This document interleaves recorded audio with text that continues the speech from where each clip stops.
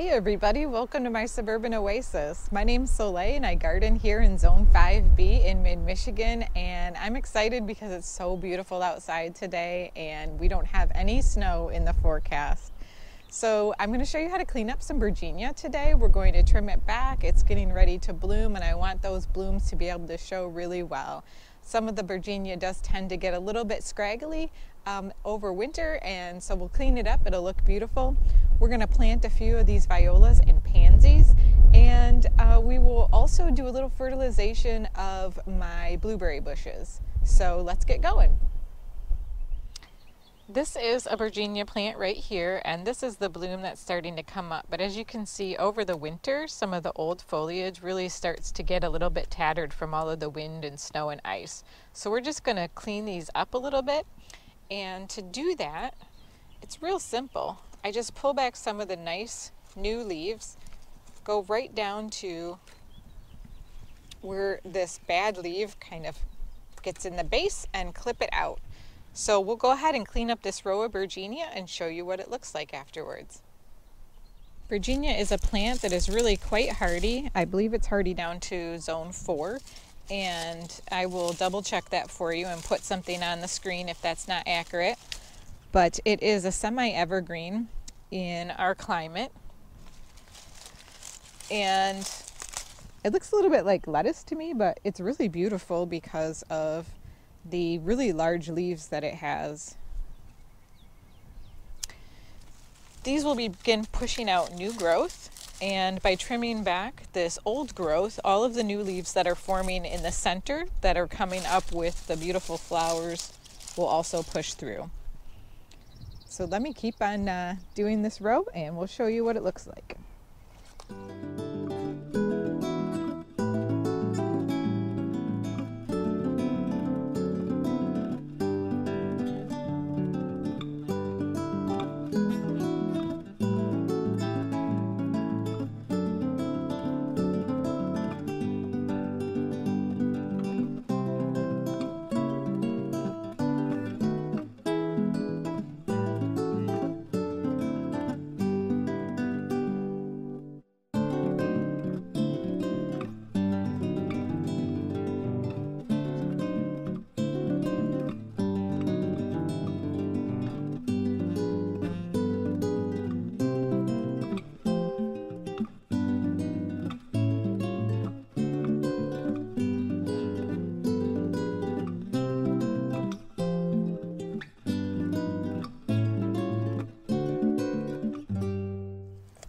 Now is a great time to be dividing some of your perennials and I did that with the Bergenia and I planted them.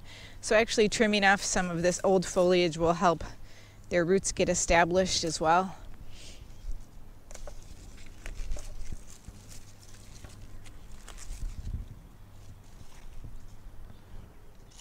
All right, well, I have finished that task. Really nice and easy and fast and I think it looks nice and clean now. As I was doing it, my husband commented how drastic of a pruning job it is, but really this does some great rejuvenation. And as you can see, it allows those flower buds to begin to push up through all of that foliage and they're going to come out and they will just shine so much more. And then we will get some really nice and beautiful new green leaves to go along with that and it will look like a whole new plant again.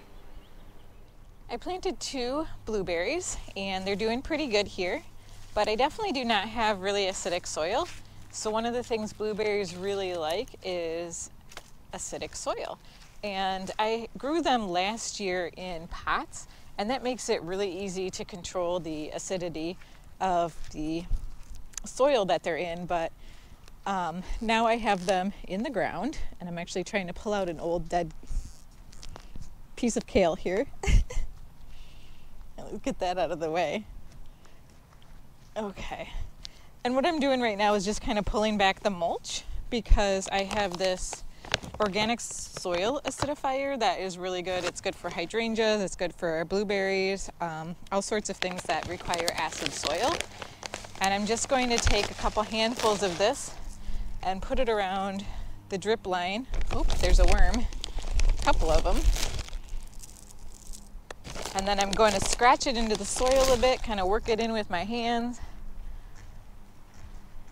And as it rains and the worms eat it, it will go right into the soil and help to make it more acidic and feed this blueberry bush. I'm going to do a little bit more here. I'm going to go pretty heavy on it just because I haven't done it at all since I planted them. And it's still really early on in the season, so I want to make sure they have plenty. And then I'll cover it back up with a little bit of mulch. And we'll do the same with the other one. Hopefully they'll like their new home in this garden bed.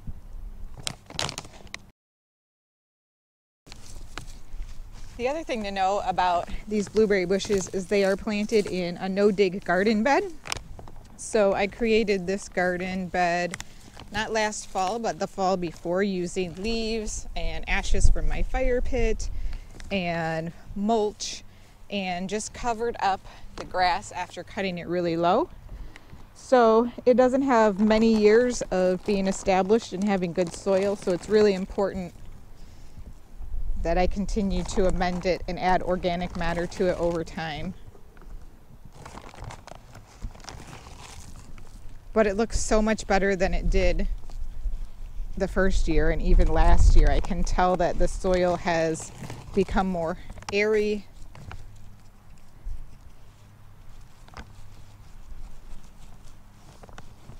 And I think it's only going to continue to improve over time.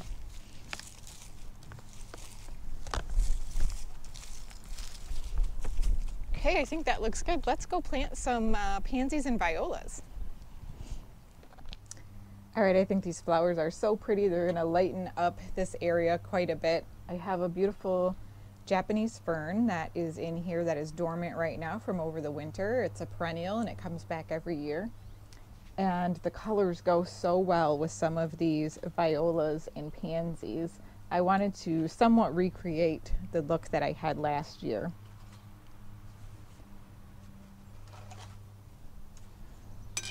So these are the Penny Beaconsfield violas. I'm going to use a couple of those.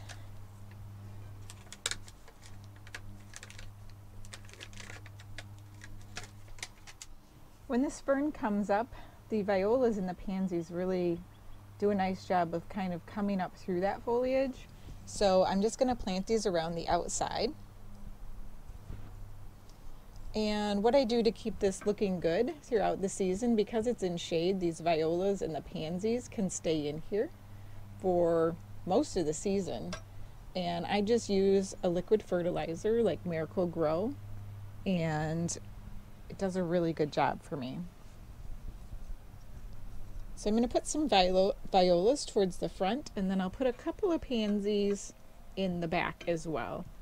The planter will not look super full, um, I'm going to pinch back some of these violas as well because the blooms are a little bit spent. That will help to push out some new growth and some new blooms.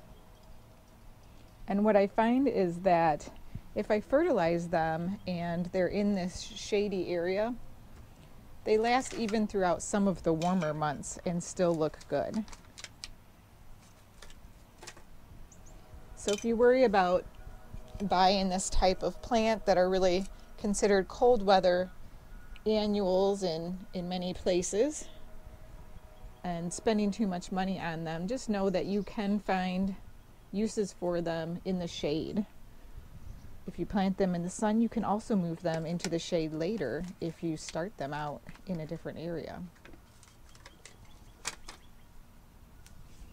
Put a couple of these little white ones. These are penny purple picotee and I did a video recently where I talk a little bit more about the size of these and what they're called. So you can check that out if you're interested. And let's put a couple of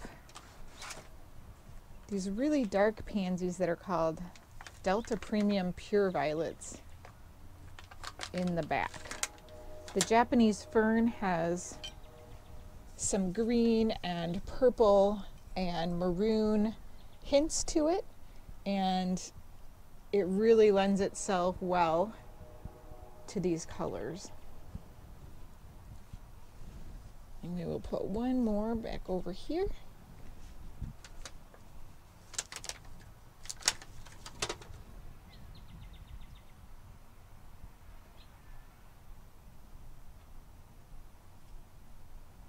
And again, I know it doesn't look like much right now, but um, I love having these colors here. It's going to lighten it up for a little bit and it's going to look absolutely beautiful in just a few weeks as that fern wakes up and begins to uh, really fill out the pot.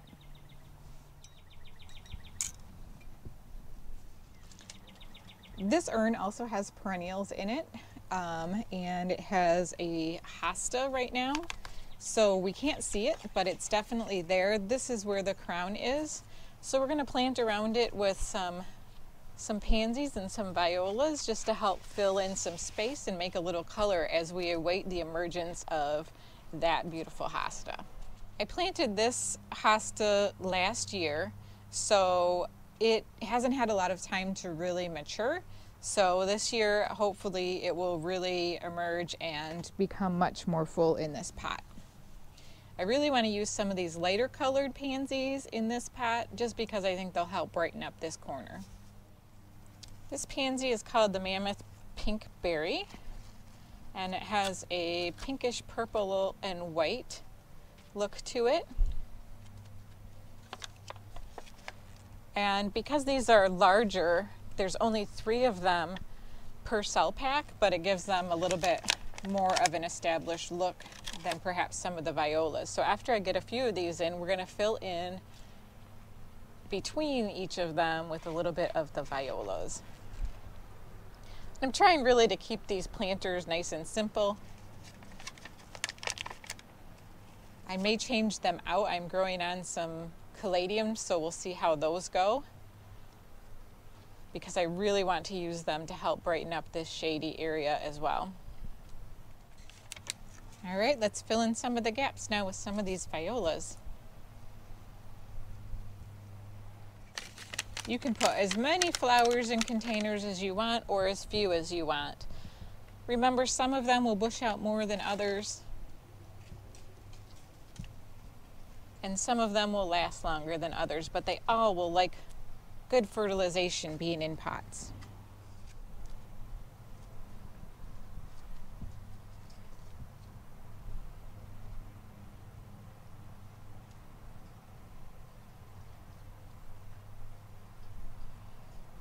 I think these look really cute being mixed together.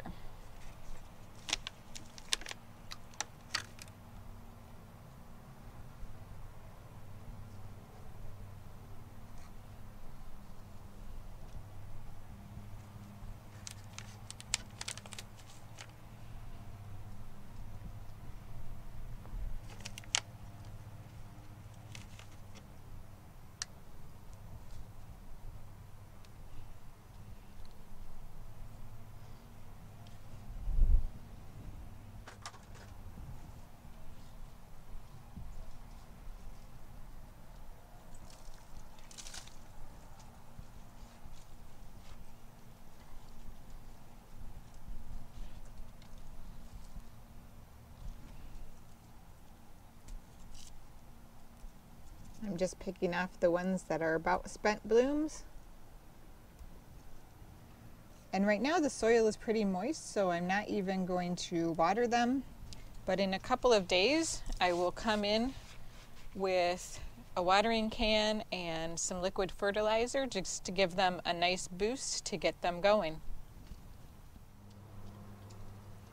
So nice and cute and super simple and um, I think it's going to be really pretty as it fills out a little bit and then when the hosta comes up it will cover up some of these so I'll pull them right back out and use them in another area in the garden.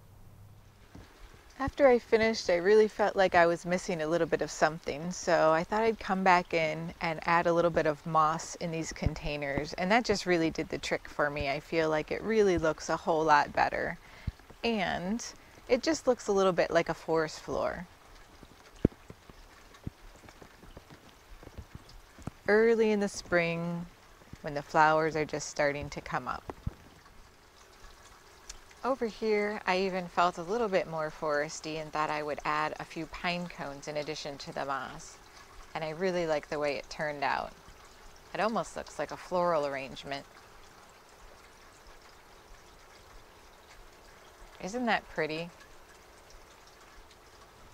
I can only imagine when the ferns come through how that will look as well. What do you think about the addition? I really enjoy the way that they turned out. Well, that's the end of the action part of this video, but I thought that I would just take a minute to show you some of these beautiful hellebores because they really are glowing and gorgeous today and they are just maturing really well. There's quite a few of them that are fully in bloom, and I even have some daffodils that are finally starting to come out. So I thought that I would show you some flowers. Well, thanks for joining me in the garden today. I hope you enjoyed some of the things that we're doing. We definitely have a lot on the to-do list and unfortunately due to my recent knee surgery, I'm still working on trying to get to them all. So slowly but surely we'll continue to take on the task and enjoy our time in the garden. Thanks again for joining me today and we'll see you next time. Bye!